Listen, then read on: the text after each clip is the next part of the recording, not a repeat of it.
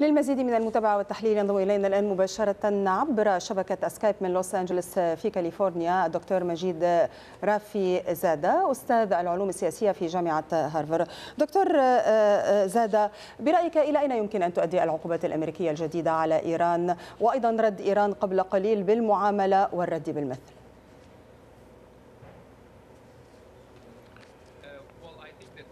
أعتقد أن التوقيت هام للغاية لأن الرئيس ترامب تولى منصبه مؤخرا وتم توقيع هذه العقوبات وإيران تنظر إليها على أنها تهديد.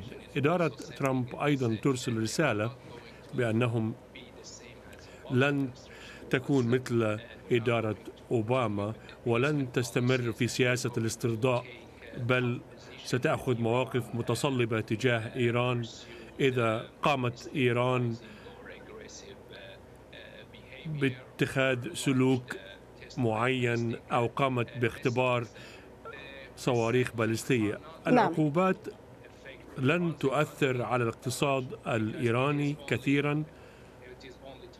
لأنها تستهدف بعض الأفراد والشركات وليس الحرس الثوري الإيراني وسط هذه الرسائل المتبادلة ما مصير الاتفاق النووي في عهد الرئيس الأمريكي دونالد ترامب؟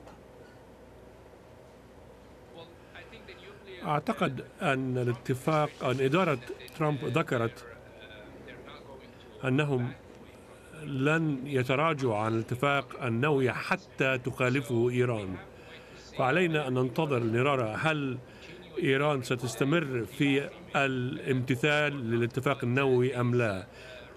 ولكن هذا الخطاب المتصاعد والعقوبات ضد إيران لن تؤثر على الاتفاق النووي لأن الأمران منفصلان. العقوبات تتعلق بالاختبارات البالستية وليس الاتفاق النووي. ولكن إذا استمر التصاعد الخطابي قد يؤثر ذلك على جعل إيران تتخذ قرارا بالانسحاب من الاتفاق النووي. طب مع تصاعد اللهجة الخطابية كيف تقرأ تحذيرات الرئيس الأمريكي لإيران من خطورة اللعب بالنار؟ هل هذا يعني أن هناك إجراءات عسكرية محتملة ضدها خصوصا بعد إعلان ترامب ألا شيء مستبعد؟ لا أظن أنهم سيقفز أحد الحل العسكري.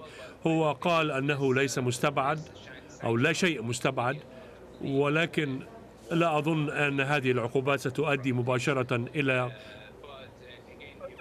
حل عسكري أو عمل عسكري. ولكن إذا استمرت الخطاب التصعيدي من إيران وأيضا الخطاب التصعيدي من واشنطن يمكن أن يؤدي ذلك إلى عواقب سلبية للغاية وقد يؤدي ذلك إلى المزيد من المواجهات بين البلدين طب مسؤولون في الإدارة الأمريكية أشاروا اليوم إلى أنه من الضروري الرد على الإيرانيين على مستوى مناسب من أجل الضغط لتغيير تصرفاتهم.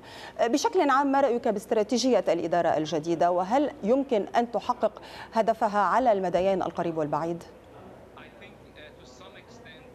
إلى حد ما أعتقد أنها ستكون فعالة لكن إذا نظرت إلى لغة جواز ظريف وحسن روحاني إنهما بالفعل تراجعا قليلا واستخدما لغة أكثر دبلوماسية. وهذا يرسل رسالة إلى إيران بأنها لا يمكن أن تختبر صواريخ باليستية دون المشاورة مشاورة مجلس الأمن الدولي سيغير ذلك سلوك إيران قليلا ولكن لست ليس بشكل جذري. الدكتور مجيد رافي زاده أستاذ العلوم السياسية في جامعة هارفارد حدثنا عبر سكايب من لوس أنجلوس شكرا لك.